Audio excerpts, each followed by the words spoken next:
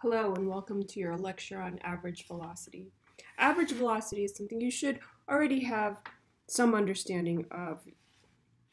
S suppose you were traveling um, for 30 miles and it took you 20 minutes to get there. So you're driving pretty quickly. That means your average velocity over this time interval was 3 halves of a mile per minute.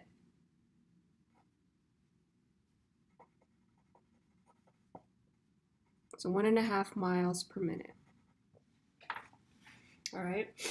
Um, so that should be pretty clear. Now let's model it a bit more closely with math. Suppose that the function f of x equals x squared describes your path over time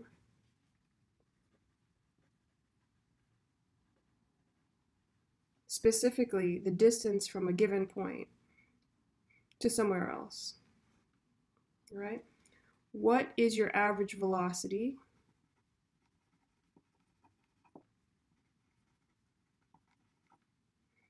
over the period, say t equals 0 to t equals 10. Again, you're going to do the same thing, total distance over total time.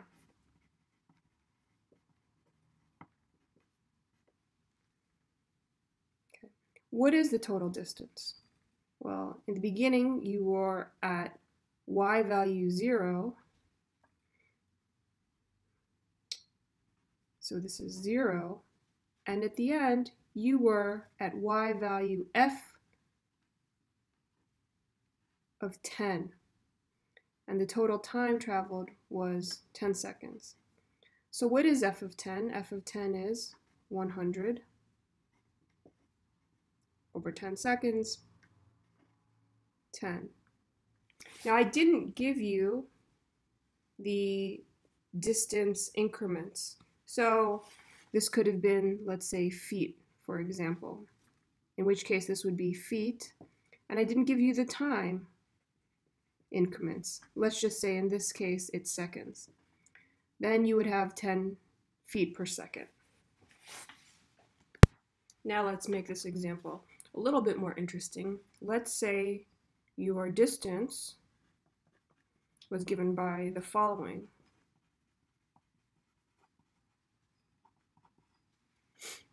equation.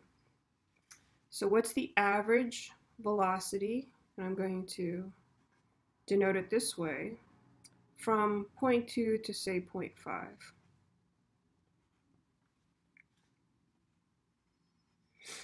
Again, you'd have the distance traveled in the numerator over the time elapsed in the denominator. So what is the distance traveled? It's f at the right endpoint minus f at the left endpoint over the distance traveled, or over the time elapsed. Okay, so you'd have to compute all of this. That is negative 16.5 squared plus 20.5 plus 10. That's on one end. All minus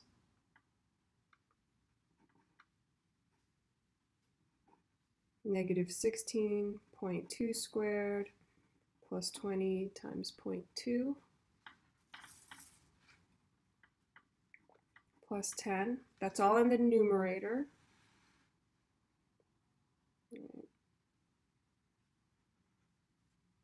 Um, let's just write out that's 0.3. Okay. Notice that the constant terms always just cancel. Okay, so what else uh, can we combine here to simplify the numerator? Well, we have the 16s and we have the 20s. So we have 16 times negative 0.25 and then positive 0.04 and then we have the 20s times 0.5 minus 0.2 and that's all over 0.3 16 times negative 0.21 plus 20 times 0.3 all over 0.3. The 0.3's cancel here. You get a negative 0.7. Finally, and I'm going to just reverse order, it's 20 minus, if you multiply 16 times negative 0.7, you get 11.2 equals 8.8. Okay, and again, I didn't give you the time interval or the distance uh, units of measurement. So if this were feet, say f of t is given in feet,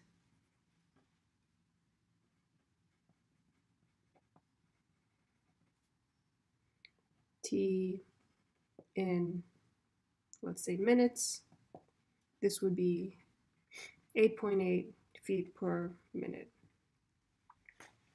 Okay, so that is a more complicated computation for average velocity, but remember it's just rise over run. Rise over run. Now let's look at another example using the same function. So remember, we're looking at this um, having units of feet per minute.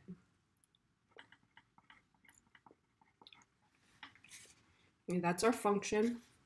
And we're looking at a different time interval now. Let's look at the time interval between half a minute and a minute. We go through the same process.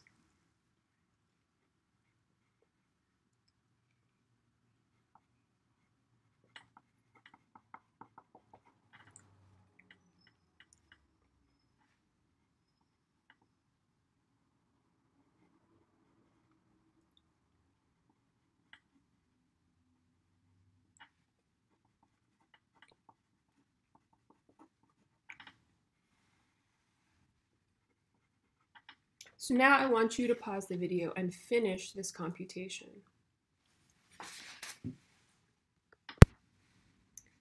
If you did this computation right, you should get negative 4. Again, that's feet per minute. So I want you to ask yourself, does this make sense? Negative 4. So again, pause the video and try to answer that question. So what it means is that at some point in time, this uh, object which is moving was moving in the opposite direction towards where it came from. And you can understand that if you understand the graph of this function. So what are a few basic things you can understand about the graph of this function?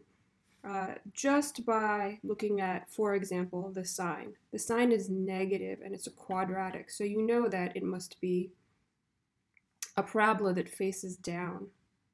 Moreover, you know at t equals 0, it's at 10.